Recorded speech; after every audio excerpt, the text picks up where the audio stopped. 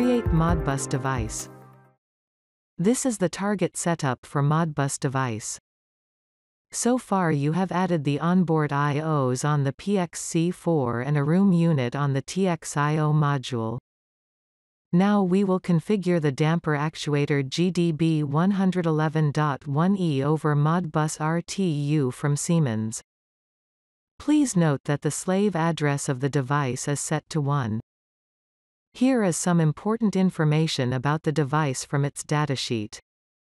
It is important to note the communication parameters to set up the network and the device accurately.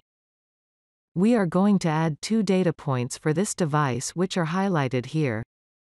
It is also important to note the register parameters that are needed to create these data points. Hence, it is now summarized in this table. Please make a note of it. There is one more important parameter to be considered. The scaling factor determines the slope and intercept. Let's see how to find this information. These are the parameters you see in the datasheet of a device. To translate this information in terms of the properties of a data point you can refer the x, y diagram. These are the properties you will see in the tool to set. The process values y1 and y2 can be taken from the range. The input or output x1 is 0 and x2 is to be calculated and m is the scaling factor. And from this formula we can calculate the value of x2 which in this case comes to 10,000. Let's see the demo. I have renamed the plant to my plant. And now we can navigate to the Modbus task. The first step is to create a Modbus network. The network type is RTU. I will keep the network name to default. The baud rate can be selected from here. Now the parity and the stop bits can be set. Click on OK to add this network.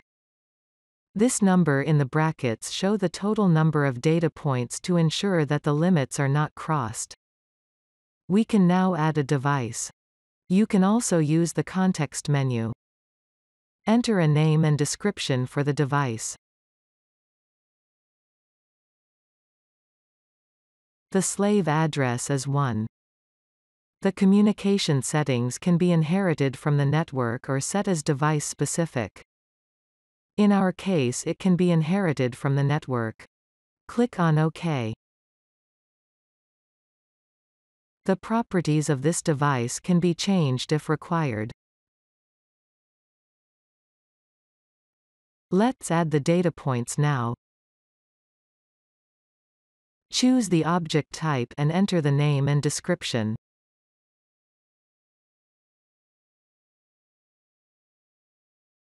Choose the right unit and function code. The data type is U16B and the register address is 1. The data point is added and you can see the change in the number here. Now we will add another data point as per the table.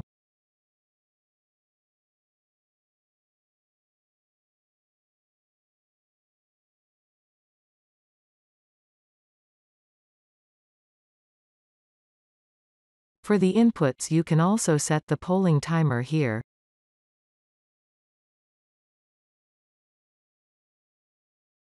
We can check the properties of these data points and modify the process and input-output value for the correct scaling factor.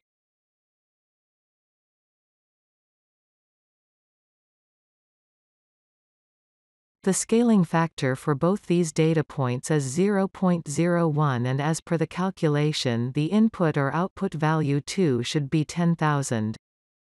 Hence, set these values.